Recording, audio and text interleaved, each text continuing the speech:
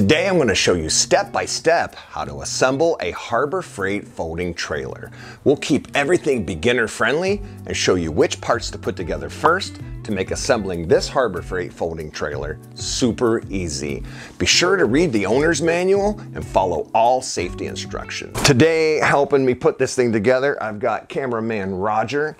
So the first thing that you need to do when you get one of these trailers Get everything out of the box, get all your pieces sorted out so that you can see what you've got.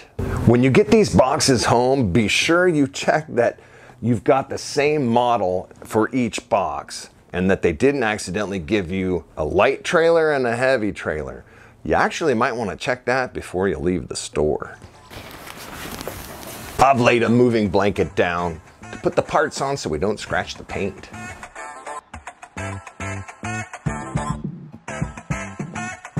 Looks like in the long box, we have all the frame pieces, the tongue, and the axle. And then over here in the smaller box, we've got the wheel, the springs, and all the hardware. Also in the small box is the lighting kit. This is the first of a series of videos. We'll be covering the lighting installation later. Time to get these bolts organized.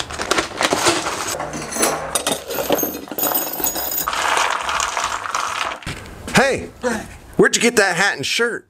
Well, I'm glad you asked. I got this hat and shirt at MrFredsDIY.com. Now that we have our parts sorted, it's time to check our list to see if there's anything missing. The tools we're going to be using to assemble the frame today are a 17 millimeter wrench and a 17 millimeter socket. We're also going to use a 19 millimeter socket. Here's a pro tip. I'm going to be using an impact adapter with my drill. These come in a set of three and they're super affordable.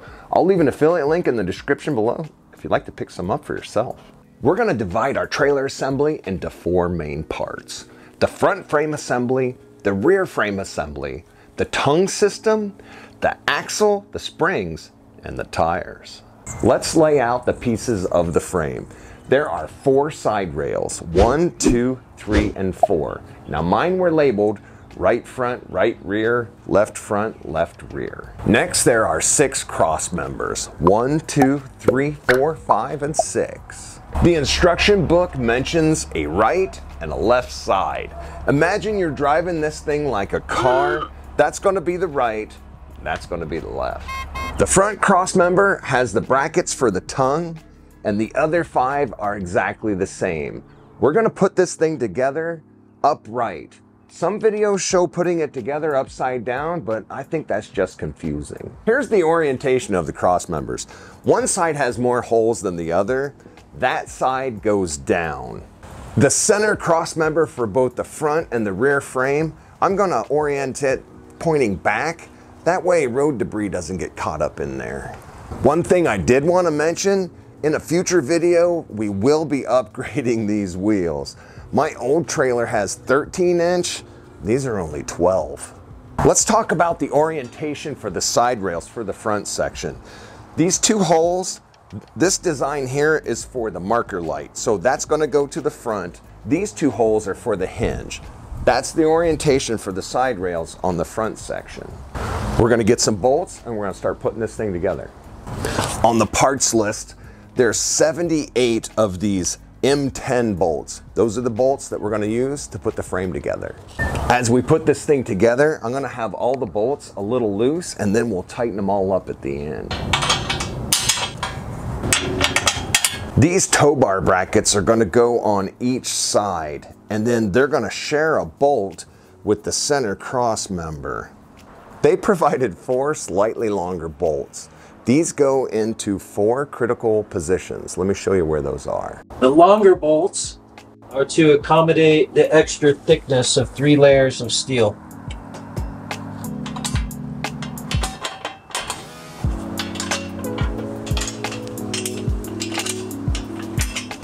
And we'll do the same for the other side.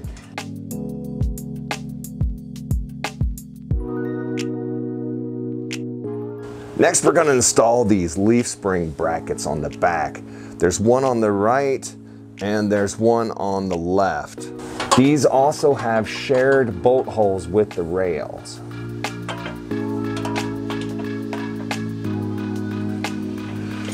This is where that longer bolt comes into play. Filming everything makes it twice as hard.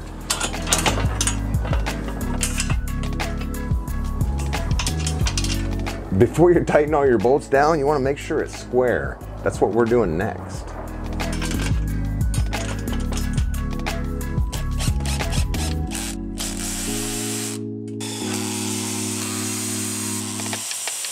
Now that we're all square, we're gonna tighten down all the other bolts. Now we're gonna put together the rear frame. It's gonna go just like the front.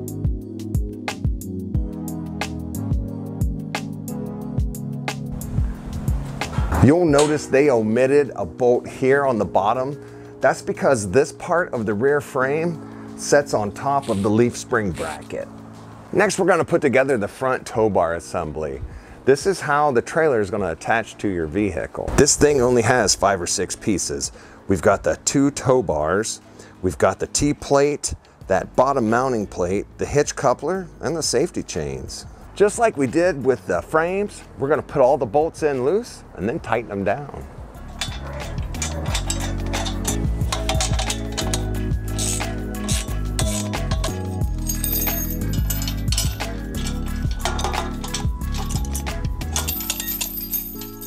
Safety chains. I don't really care for the way the instructions call for these safety chains to be mounted.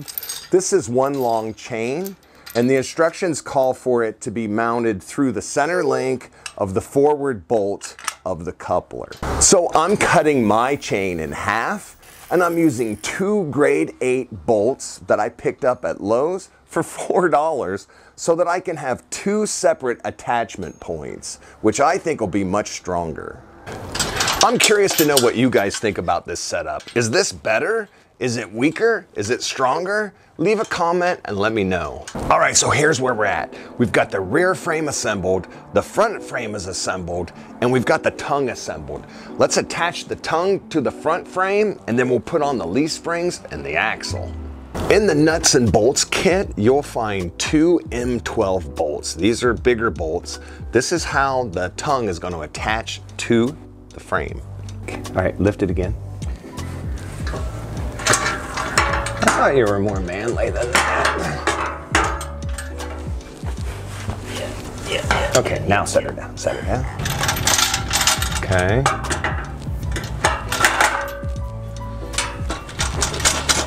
Yeah, nice.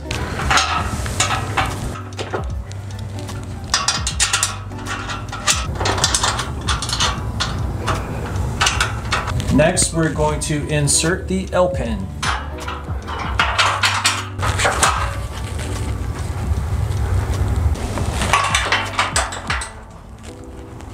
Next, we tighten up the M12 bolts. To put the leaf springs and axles, we're gonna flip it upside down. Next, leaf springs. Here we start off with our spring, of course eyes forward. And we have our four spring bolts, the M12 by 75.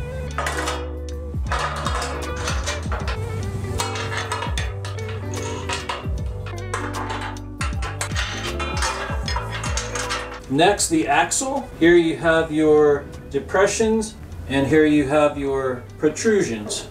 Just line it up. You should have four U-bolts and two spring plates.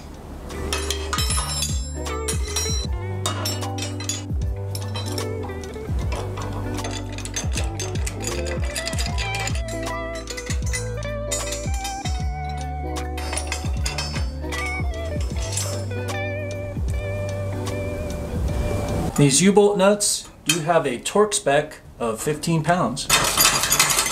All of the U-bolts are tight and the bolts for the leaf springs are also tight.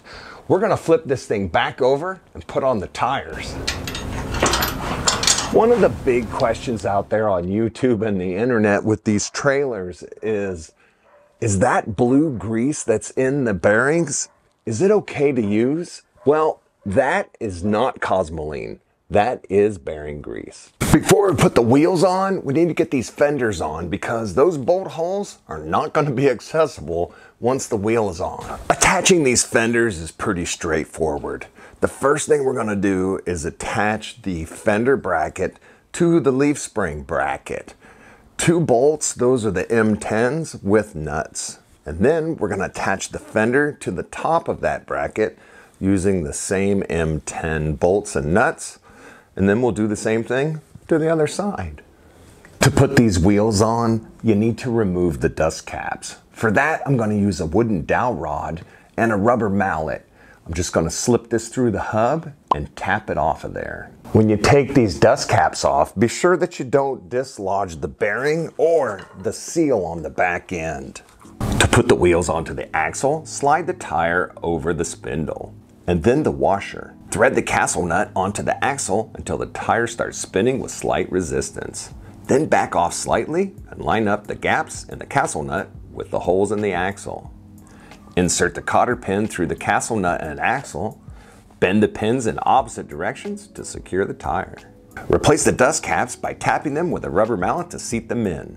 Don't forget to lubricate the Zerk fittings on the back of the hub assemblies with a heavy bearing grease. I will be replacing these dust caps with bearing buddies in a future video. When I'm finished with that one, I'll put it on the channel. The torque specs on these lug nuts are 85 to 90 foot-pounds. Be sure to check them before you head out on the road. Next, you're gonna wanna put on your hinges. There are two pieces to this hinge kit. There's a straight side and an offset side. The straight side goes on the front part of the frame and the offset piece, it goes on the back frame. I will admit, it might be easier to put these on before you put on your fenders.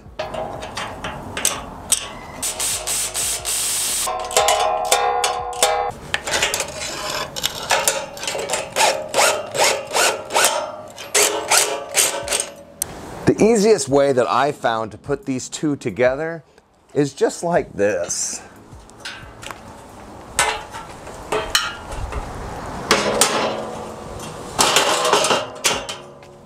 And then I'll line up these hinge holes and then I'll put one of these M20 bolts through it. You need to make sure that you don't over tighten these two bolts because this thing does need to hinge. Next up, caster brackets.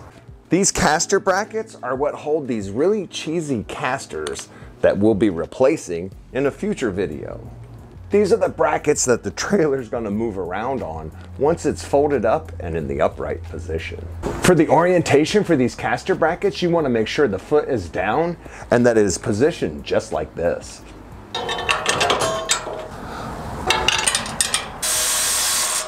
It's really hard to get a wrench in there to hold the caster while you tighten that nut, so I just used a pair of vice grips. This trailer comes with four of these carriage bolts. Two go on each side. You need to have all four of these in place before you take this thing down the road. This is what holds the rear frame to the leaf spring bracket. The Harbor Freight folding trailer also comes with eight stake pockets. These are gonna mount to all four sides of this trailer and provide a nice attachment point for a rail system if you decide to build one. A modification that I'm definitely planning on making a video for in the future. Next up is the lighting kit. When I'm finished with that video, I'll put a link to it right here.